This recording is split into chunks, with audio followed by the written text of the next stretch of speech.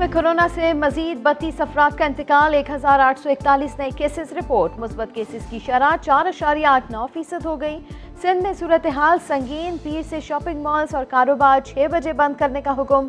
तालीमी इदारे, शादी हॉल्स, होटल्स और दरगाहें बंद रहेंगी। जो वैक्सीन नहीं लगवाएगा, उसकी मोबाइल सिम बंद कर दी जाएगी। सिंध हुकूमत ने एन सी ओ सी को खत लिख दिया।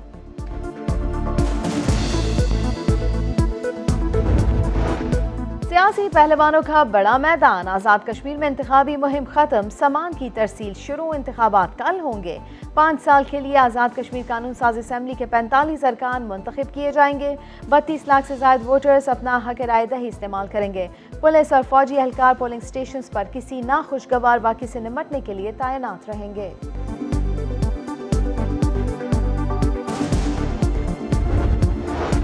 बुज़ुर्ग कश्मीरी रहनुमा सैयद अली गिलानी मीरवाज उमर फारूक, महबूबा मुफ्ती और कई कश्मीरी सहाफ़ियों के फ़ोन हैक किए गए। पैगसस जासूसी की फहरस्त में इंकशाफ मकबूजा कश्मीर में मोदी सरकार के खुफिया हथकंडे सामने आ गए।